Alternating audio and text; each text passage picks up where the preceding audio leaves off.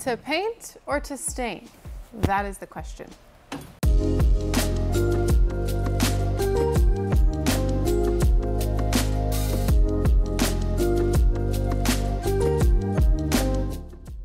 I got this piece at auction for $180 and it is time to flip it. It is a Franklin Shockey sculpted pine dresser, which in their heyday were super valuable. It probably could still hold its value a little bit. It's high quality, but it is made from pine, all solid pine.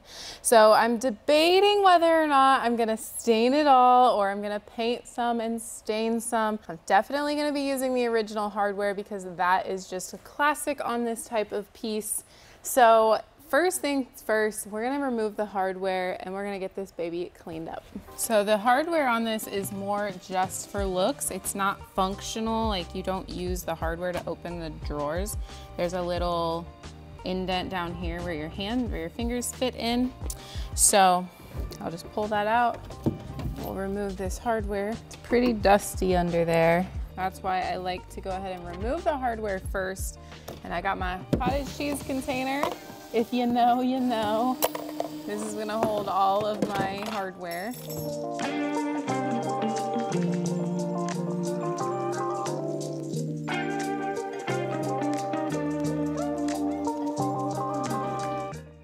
Well, that drawer slide needs to be fixed. This piece is quite dusty. It's been in the workshop for a while, so you know how it goes. It get a little dusty. I've got my Lilly Moon Furniture Prep Cleaner here. No rinse cleaner. Just spray it right on the surface, let it do its thing for a little while, and then wipe it back. And you don't need to rinse anything afterwards. This gets it all nice and clean. It's a degreaser also, so it's going to just make sure that this surface is ready for priming or sanding or painting or staining or whatever is decided to do on whatever piece of furniture you are working on. Now the thing is this piece does have quite a few gouges in it and they're somewhat deep but pine is a soft wood, so it makes sense why there's so many gouges. I'm hoping that I'm gonna be able to sand it out. No matter what, I am gonna be sanding this piece all the way down just purely because of the damage and the failing finish that is happening with this piece. I wouldn't feel confident putting primer or paint directly over this, even if I kind of smoothed it out. I just wanna go ahead and get rid of that whole finish, kind of see what we're working with, and that's when I'll decide whether I'm gonna stain or whether I'm gonna paint. Right now I'm leaning towards staining. So if I were to stain it, I want you to comment down below right now, what type of stain would you go? Like a darker, like a Kona?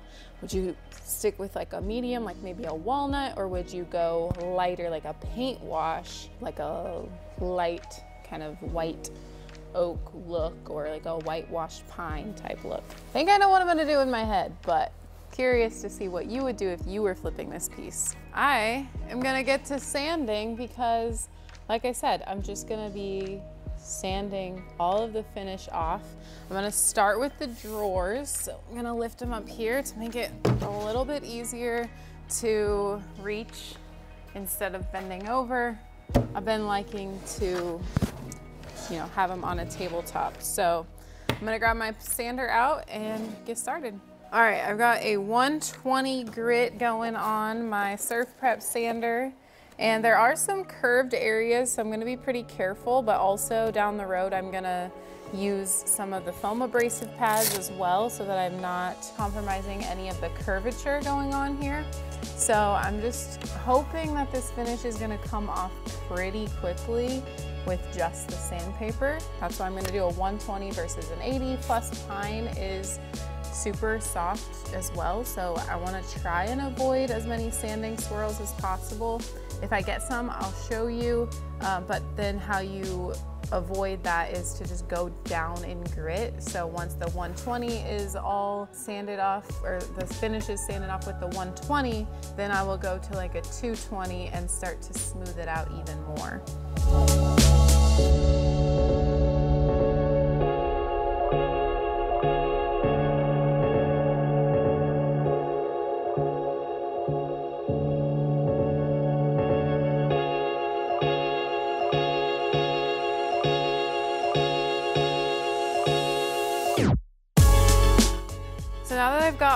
The drawers sanded down initially, which it really didn't take me too long um, with the 120 grit, I am gonna now move to a 220 grit. And the reason being is because we just wanna make sure that we're smoothing everything out and then it's gonna be able to take the stain really well. Oh, maybe just told you what I'm thinking of doing for sure.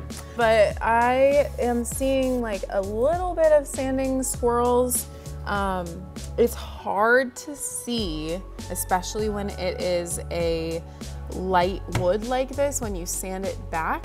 So something that you can do is actually like spray it with some water to darken it up a little bit and then that'll kind of act as like, okay, if I put stain on this, this is maybe not the shade it'll look, but definitely the darkness and it'll it'll help pop out any sanding swirls that you may see.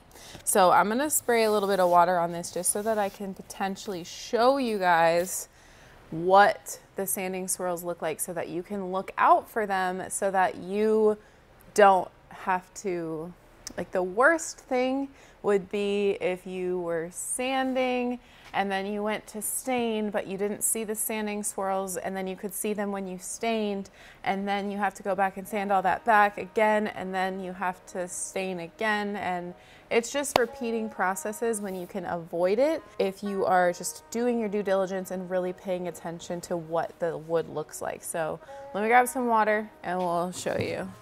Let's see if any pop out. Honestly, did a pretty good job. There's a couple spots.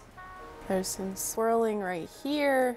Otherwise, I didn't do too bad of a job on this specific drawer, so I should be good to go ahead and just sand with my 220 grit. And also, even if you don't have the sanding swirls after the 120 grit, it's still a good idea to go up in grit to the 220 because it's just gonna give you a little bit of a smoother finish and then it'll also help the stain accept it. Like the pores are still really open at a 120. We wanna close them in a little bit, but not so much like a 400 grit uh, because it won't soak up the stain quite as much. But I'm gonna let that dry. And in the meantime, I'll do the 220 on the next drawer. Let's do it.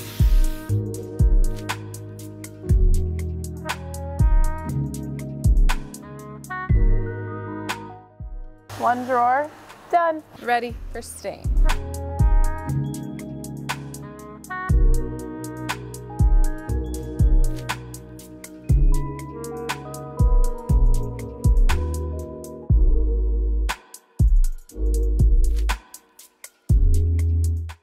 Time to move on to the body of the dresser because the drawers are all finished up. That's exciting. So this should be pretty much the same exact thing. We're gonna use 120 grit and then move up to 220 and smooth it out with the foam pad.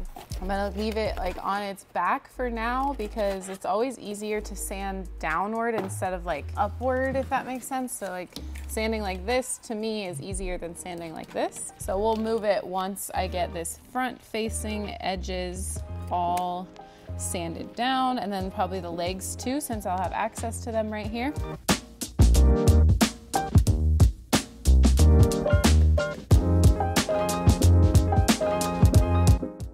Okay, it's time for the top. This is the spot that has the most gouges, so I'm just gonna, gonna go slow and sand everything out.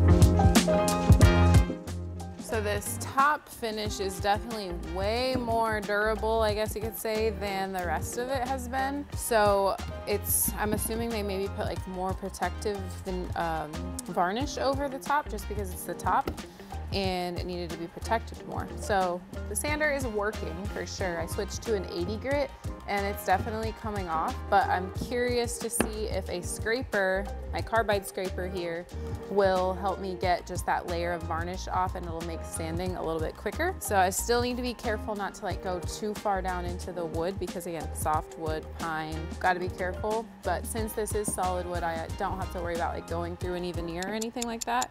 I don't know, I think I'm just gonna stick with sanding.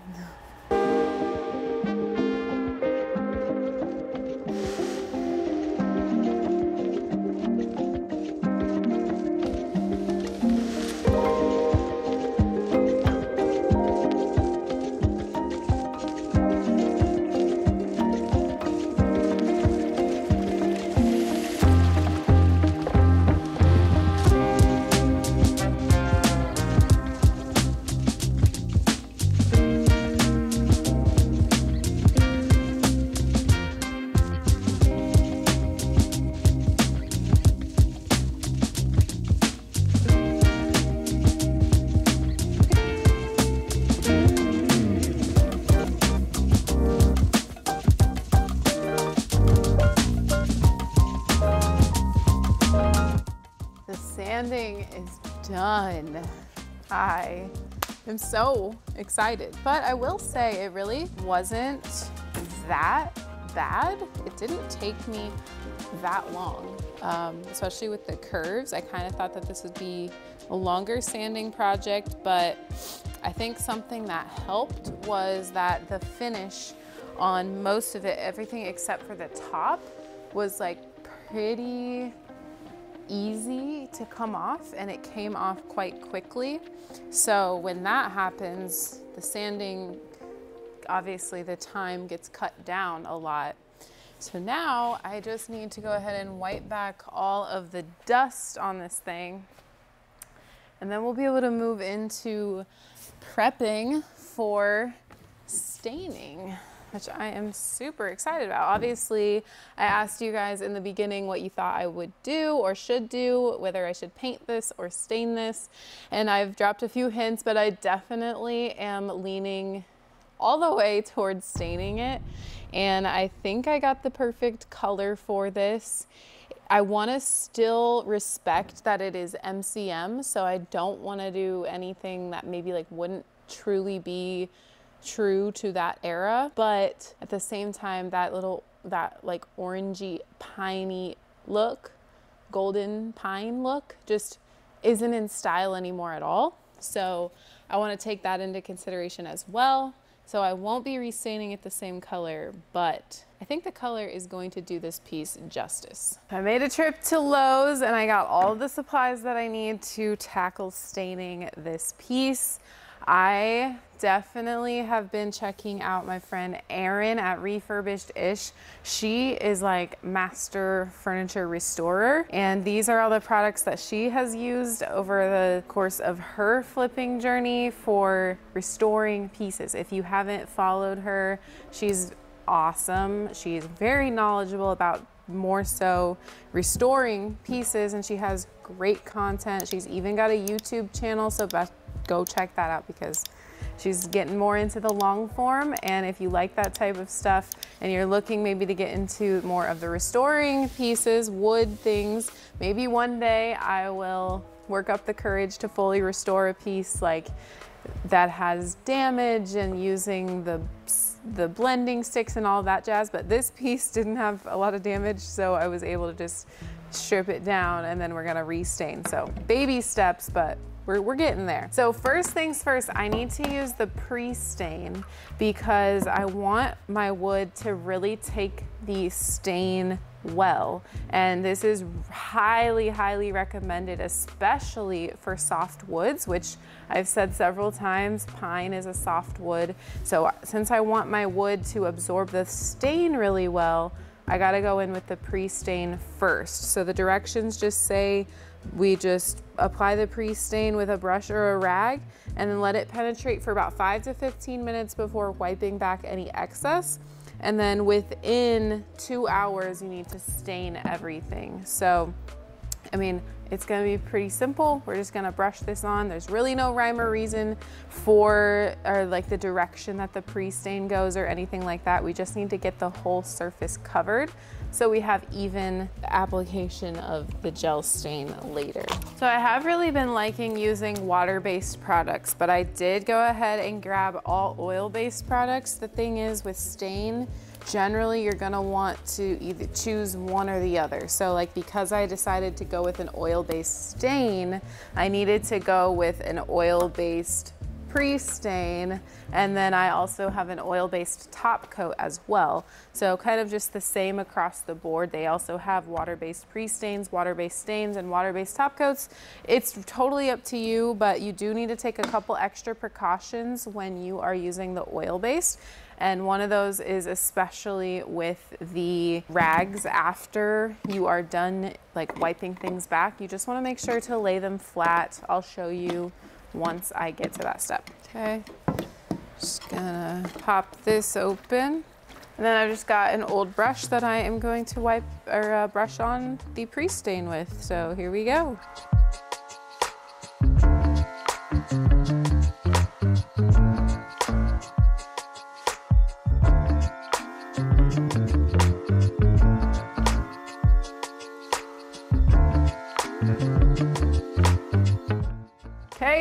Time for the stain. The color is called Aged Oak. It's the Minwax Gel Stain. I'll link it down below. I'm gonna just wipe back the pre-stain a little bit.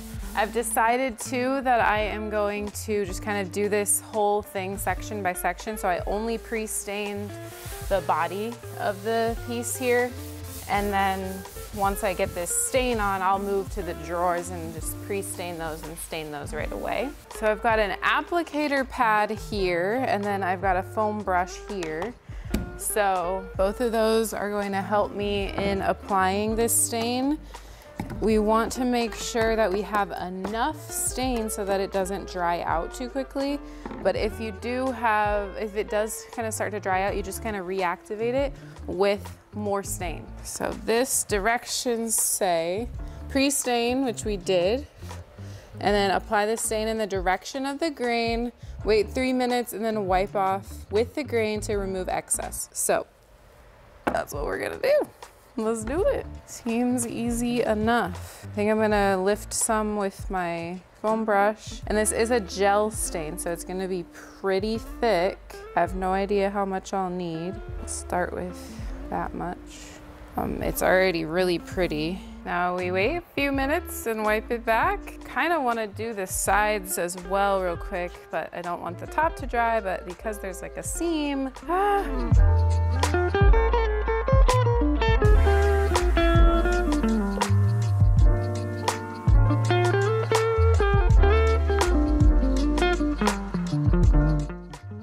Don't want it to dry out, so I'm gonna go ahead and wipe it back. I just have some shop towels. So this is what I was talking about, the rag after you wipe it back. I'm gonna lay them out so that they can dry out because they could spontaneously combust if you've got them like all wadded up in the trash can. So I'll leave those for a few days and you can even like douse them in water, put them in a water filled bucket, whatever works.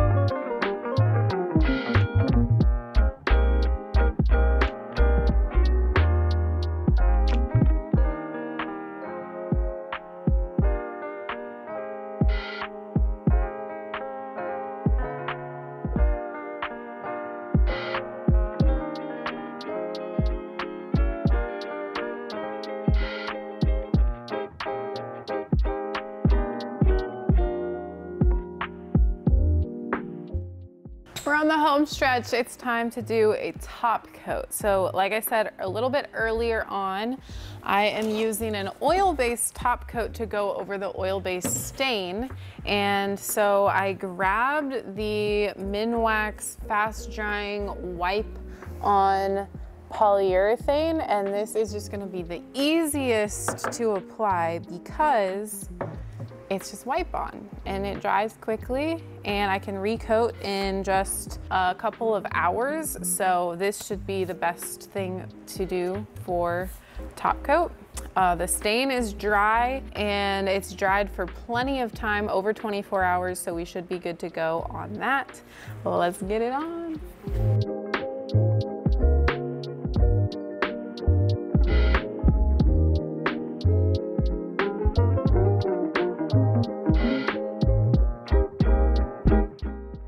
Step on this project is to clean up the original hardware. I am gonna be putting it back on, so I want to go ahead and clean it up so that way it looks all nice and clean when I reinstall it. I think it's gonna clean up just fine.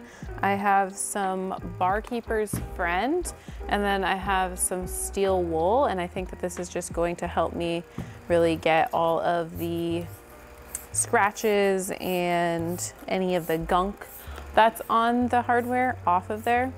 And of course, I am going to wear some gloves to get this job done.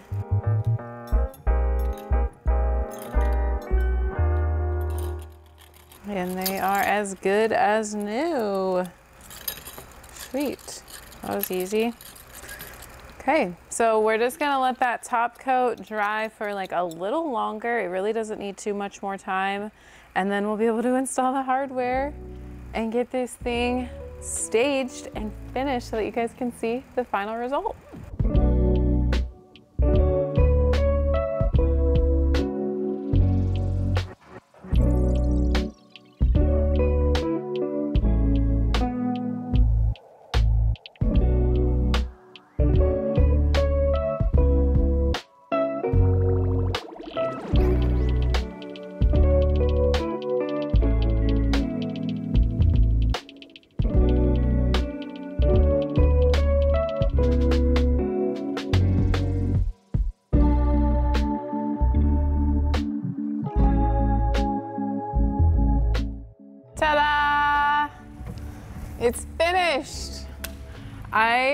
Like it. I don't think I'm in love with it, but you don't have to be in love with every single piece that you flip. I think in my head, I thought the aged oak stain was going to be a little bit darker, but I don't hate the color of it. Um, obviously the pine is gonna take it differently than maybe a different wood would take. So the photos that I had seen of this color being used were a little bit darker, but I still really like it. I love that it really accentuates the wood grain across this entire piece. And I'm actually glad that I kept it as wood and restained it there's still different things that I need to perfect on my refinishing skills, specifically the sanding swirls. I see a few, but it's nothing that's like, oh my gosh, detrimental. I have to redo this whole thing. I don't know. I, I like how it turned out. I'm curious to hear what you guys think about the transformation. I'm glad that it's not that like orangey color anymore. And I feel like this just helps it be like an organic piece. I feel like the shape is super organic and then the tone of the wood now is super organic and the hardware still goes really well with this piece. I don't know. I like it. I think it's growing on me now that I see it all together, but I'm proud of myself. I stuck to it. I used new products that I've never used before and this is the result that we got. Let's talk about the numbers. So on the numbers for this piece, I got the piece for $180 and then I spent around $80 at Lowe's with the materials that included the stain, the pre-stain, the top coat, and then some of the supplies that I got to um, apply all of that. And then we used, you know, sandpaper and we used some barkeeper's friend, and a couple of other materials. So I'm gonna call it $100 just to be nice and even. So I'm in at $280, a little bit more than I'd like to be in on a single dresser like this, but the buy-in was pretty high from the start. And that was because I got a little click happy on the auction and I just wanted to win something on my very first auction that I had ever done. Uh, so $280, not too bad. I can probably list this for like 600, maybe a little bit more, especially because of the brand name. And I'm gonna see what happens. I've never really flipped or sold a solid wood piece that looks like this. I've done a couple of custom pieces that I kept wood and I like sanded back and kept wood, but never really stained them. I've always kind of done more of like a paint wash type thing. Uh, or I've done a two-tone look. So I'm curious to see how my market takes it.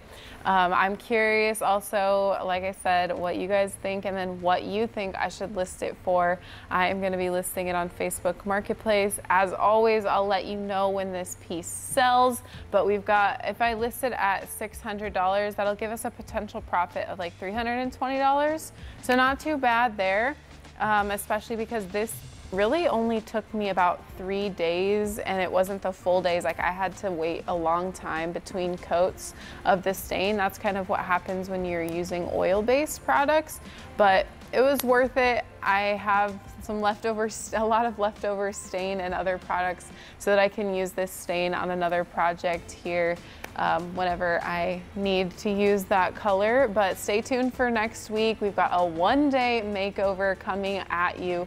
I'm super excited about it. So make sure you get subscribed down below and don't miss the upload next week or any weeks to come. I love hanging out with you guys here on the channel. Thank you guys so much for watching. Thank you so much for your support. It means a lot to me. And I'll see you on the flip side.